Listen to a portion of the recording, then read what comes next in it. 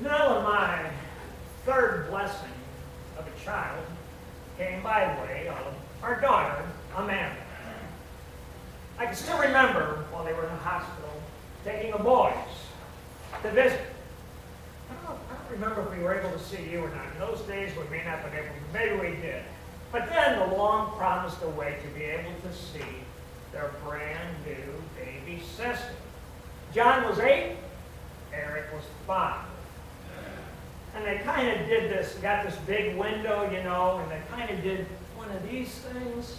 Looked in there and they see all these rows of babies, right? All lined up.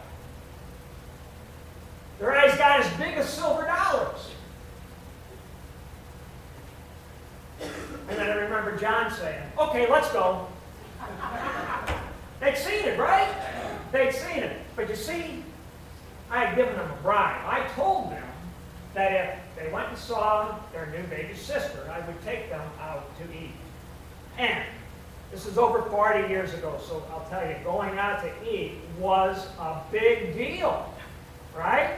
Especially after mom's in the hospital and they're eating dad's food. And I wasn't barbecuing, so they were on their own there.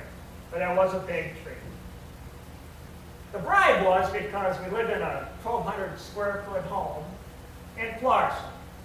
We had to move the boys out of the extra bedroom, right? Ladies, I know you can appreciate that, right? Yep. So the guys have to all move into the same bedroom. And her bedroom then became, it's kind of in a separate area of the house. We had one bedroom, the kitchen, and then we had the other two bedrooms over here. What we soon realized was the fact that Amanda slept with her eyes partially open. That's weird. That is really weird. This became a problem because she couldn't go to sleep without having company in a room. That continued for a while, and I will tell you, well, now I'll attest to this, it continued for a long while.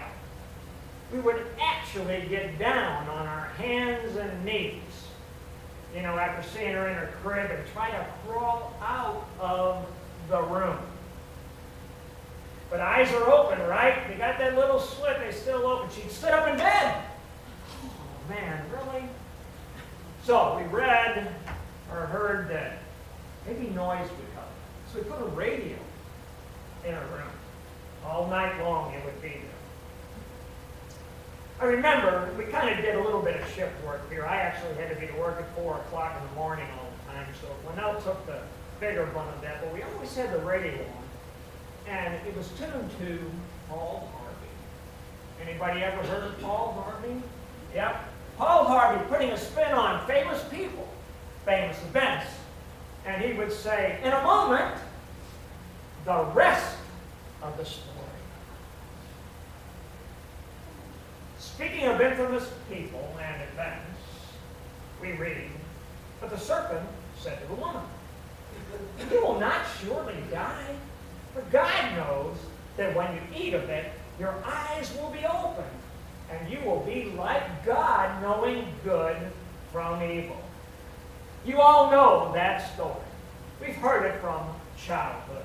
Adam and Eve had been created perfect, without sin and were enjoying paradise in the Garden of Eden until Satan slithers his little way into their lives. This liar begins a conversation with Eve and encourages her to eat from the tree of the knowledge of good and evil. And they do this, right? And what happens? Their eyes are both open. He lies to her and because of this one act of disobedience, all people, along with all things, will surely die, just as God said. I hesitate using this illustration. Are any car dealers here? Good, I can use this, right? Similar lie would be a car dealer telling you, go ahead, you qualify for more won't break the bank. And besides, You deserve it. Friends, is when you hear that, you should actually run. But we don't, do we? No, we don't run away from that. We go ahead, take a bite, and a few months later, our eyes are open to what the real cost of 72 months looks like. Adam and Eve, like children, they do the very thing God told them not to do. But the cost of their sin is immediately evident to them as their eyes are open. Their eyes are open to the difference between good and evil. I'm naked. That's the first thing we that's written in Scripture. That's the first thing they see. And wouldn't you know it, just like any parent, at that time, here comes God walking through the garden. Right? It's scriptural, but I think they probably say something like, Quick, let's cover up. Knowing what they had done, God comes to them in love. God is walking in the garden. God knows what they have done. And God comes to them out of else would you expect from God, who created them for a purpose? And most of all, loves them. When they come out from behind the bushes, God gives them the opportunity to confess and repent. But sin takes over. Rather than choosing good, they choose evil. Adam blames God. It's the woman you gave me. Eve blames the serpent. The devil made me do it. And the serpent, the devil, he probably laughs.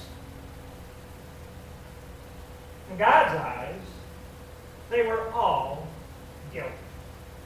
And he lays permanent curses upon Adam and Eve. But he lays an eternal curse upon Satan, who had caused them to sin. Crawl on your belly and eat dirt. My words. That's what God says. Something that I think we should consider when we are confronted by Satan with temptation to do evil rather than doing something good. Crawl on your belly and eat dirt. Kind of makes me feel if I can respond to temptation in that way. And I think that that kind of wipes the smile off of Satan's face. Again and again and again. Fact. Every human being is created by God and is a descendant of Adam and Eve. Every human being knows the difference between good and evil. And likewise, every human being inherits sin's deadly effects, thanks to our giving into temptation. Giving into temptations has an eternal curse with it. And yet, there is someone who can break that curse. Someone who knows you by name. Someone who has actually already broken that curse about your choosing evil over good. And now, the rest of the story. Jesus says, Father, forgive them, for they know not what they do. Jesus prays this for all human beings after having been nailed to a cross, placed between two criminals, two criminals that were guilty of sin. Three crosses, but two sinners. They all look alike, hanging there on the crosses, but only Jesus is wearing a crown made of thorns. Interesting when you think about it. Crown made of thorns. That was a curse that God put on Adam. Remember, thorns and thistles will be for you the rest of your life. Pronounced to Adam, and now worn by the Son of God. And now, a little bit of a twist to the rest of the story. One of the criminals curses Jesus. The other criminal criticizes him for that. Imagine hanging on the cross, crucified, talking back and forth like that. But that's what they do. Because you see, the man who is critical of the other, when he looks at the face of Jesus, he sees the face of God. He sees the face of God wearing a crown of thorns. The face of God, the Lord of the universe. The only one can welcome sinners to eternal salvation. He asked Jesus to remember him in his kingdom. And he receives what I would call almost a chilling response. You know what it is. Today you will be with me in paradise. Back. And the irony, the curse of the cross, Jesus wipes out Adam's wrong and pays for humanity's sin. Paradise is open to all sinful believers without exception. But Jesus still isn't done. Jesus rises from the grave three days later, leaving his grave and the curse of the potential of your and my grave behind on a hillside outside of Jerusalem. This is where you and I join in as part of the rest of the story. For through faith in our baptism, you and I have been joined together with Christ in his death, crucifixion, in his burial, and in his resurrection. Jesus takes the curse of your and my sins upon himself, replaces it with righteousness and forgiveness as a gift. Some scholars will call that happy or the great exchange, as Luther would say. Well, I'm no scholar, but I call it awesome. Awesome because God, the Holy Spirit, has opened our eyes to good. So we never need to hide from God, like Adam and Eve did. Like them, you too always remain in the presence of God. God did not desert them in the garden. They remained in his presence, accepted by God, just as you are. God comes for you, just as he did for them. And he walks in this very garden in which we live, with you until you are fully restored on the last day. And because of Jesus and the power of God, you can say to Satan,